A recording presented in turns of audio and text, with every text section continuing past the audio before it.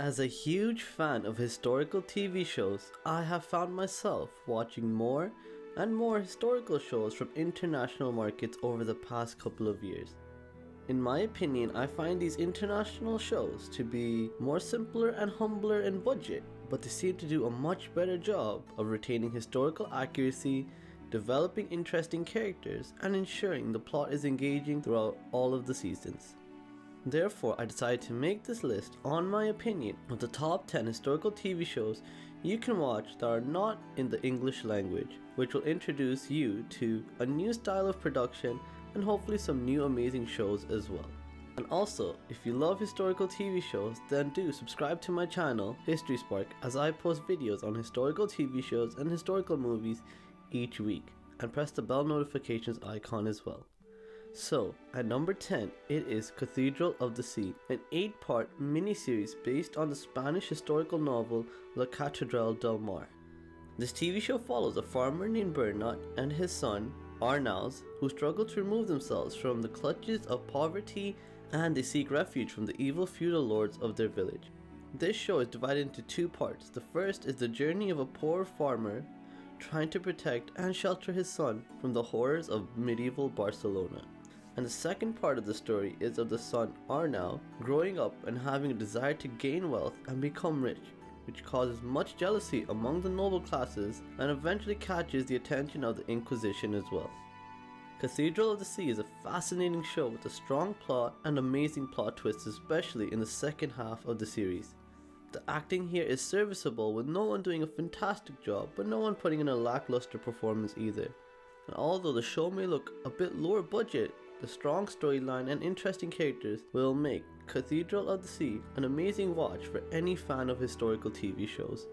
At number 9 it is Story of Yanxi Palace, a historical Chinese TV series which takes place during the rule of Qianlong's reign, where a palace maid is able to work her way up the ranks so she can secretly start investigating into the real truth behind the death of her older sister.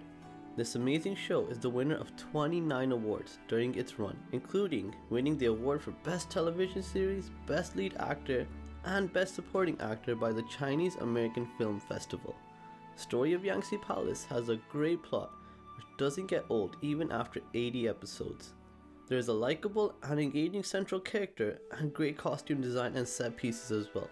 So from the acting to the storyline, there's very little to not like here it does get a bit confusing trying to keep track of all the characters that get introduced and removed from the show, but aside from the small critique, the story of Yanxi Palace is the perfect show for anyone looking to add a new historical Chinese TV series to their must watch list.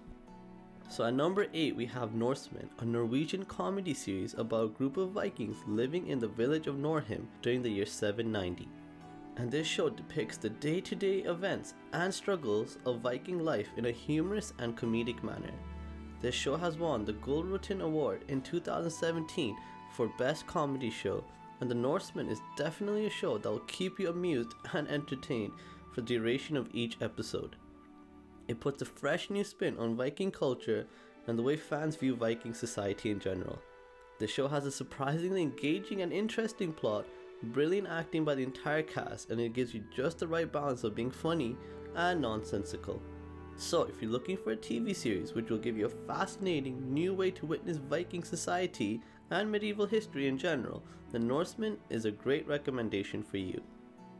At number 6, it is the most unique and different entry on this list and that's Kingdom, a South Korean drama series which is described as a historical political horror thriller a great mix of genres if I do say so myself. This is Netflix's first original Korean series and it is set in a fictional medieval Joseon era timeline. Kingdom is adapted from the web comic series The Kingdom of the Gods, and it explores the story of a crown prince as he sets out to investigate the source of a mysterious plague that begins to ravage his country.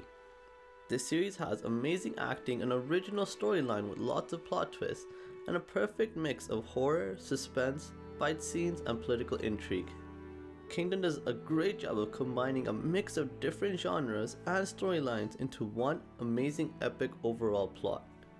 Some of the characters are a bit bland and one-dimensional and I feel like sometimes a bit of story gets lost in translation with the subtitles. But aside from these very minor critiques, Kingdom is a show you need to get on your must watch list as soon as possible. And if you want a show that's totally unique and unlike anything you've ever seen before, then Kingdom is definitely the show for you. At number 5, it is El Cid, a historical TV series based on the life of the Castilian warlord Rodrigo Diaz de Vivar, with the first season covering his young adult years, where he is still a low ranking nobleman and only a squire to one of the Castilian princes, and with the second season showing his growth to a general of the Castilian forces. The first season only has 5 episodes, and the second season only has 6, but each episode moves the plot along at a steady pace and the storyline never seems overly rushed, with careful detail being given to highlight the complex court politics and constant backstabbing present in the Castilian royal court. Jaime Lorente does a fantastic job of playing the primary character of the show, Ruy, really bringing the complex character to life. Was not the most skilled, intelligent, or strongest of squires, but is definitely the most honest, loyal, and brave soldiers these Castilian princes can ask for. But aside from Jaime Lorente's amazing acting, a lot of secondary characters have pretty wooden performances, and at times they deliver their lines devoid of any appropriate emotion or expression. But if you're looking for a show that is more about political maneuvering and court politics and less about action and big battles, El Cid is my recommendation for you. At number 4, it is Barbarians, a Germanic historical TV series which covers the Roman Empire's attempts to occupy Germanica in 9 AD and the rebellion against this conquest by the Germanic tribes led by Arminius. This show does a fantastic job of bringing this little talked about time in world history to the small screen. And with the Germans and Romans both speaking their native languages rather than English, it gives the show a more authentic feel. This show does a great job bringing the politics and societies of the Germanic tribes to life and it really highlights the tyranny they had to endure, which eventually forces them to rebel against the Romans. Barbarians benefits from great costume design, realistic set pieces, and an interesting plot that really hooks the viewer in from episode 1. Some of the acting in the show can be weak at times and it does not do a great job of fleshing out the Romans as anything more than just the big baddies of the show. But if you're looking for an authentic and unique experience about German history, then The Barbarians by Netflix is my recommendation for you. The third spot on this list goes to Resurrection Ertugrul, which depicts the rise of Ertugrul as the son of a Bey in the Kayi tribe and to his eventual role in becoming a legendary figure whose actions would help shape the founding of the Ottoman Empire. Ertugrul is actually a show recommended to me by viewers of this channel, and I have to say I'm grateful that they convinced me to watch this show. It is absolutely amazing. But I do warn all my Western audiences out there do be prepared to watch a show that is much slower than anything you are used to, as there are almost 500 episodes across all seasons so the story is told in a really slow but steady manner which really helps to form strong emotional bonds with all the characters and helps to give a truly great representation of the day-to-day struggle these small tribes had to face during this time period. Ertugrul is a show with a great cast with every primary and secondary actor and actress bring, doing a splendid job in their roles, except for the actress who played Seltuk, I felt she just overacted majority of the time.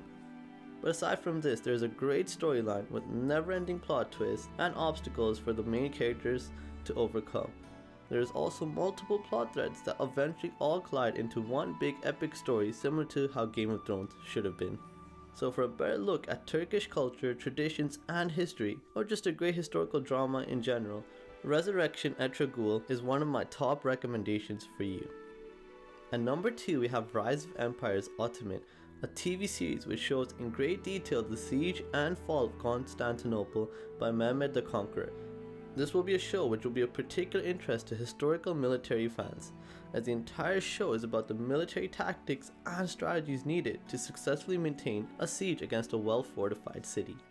Emperor Mehmed deals with a number of obstacles and struggles to get past the impregnable defenses of Constantinople while also simultaneously having to contend with betrayals, disease, and a constrained amount of time to finish the siege before reinforcements can come to the aid of the Byzantine Empire.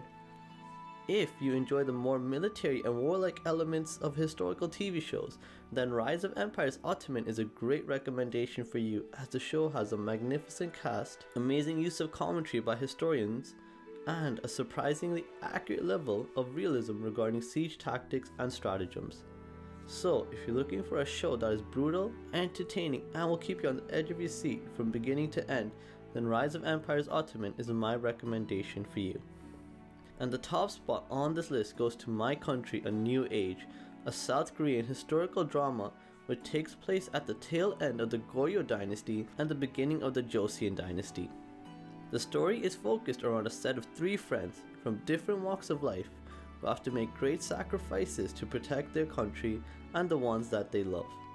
A second storyline focusing on the more historical aspects of the show of Yi Bang-won trying to get his position legitimized as heir to the Joseon Empire by any means necessary.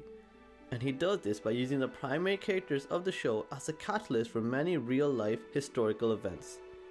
This was my first South Korean drama that I have ever seen, and I have to say I was absolutely blown away at how good this show was.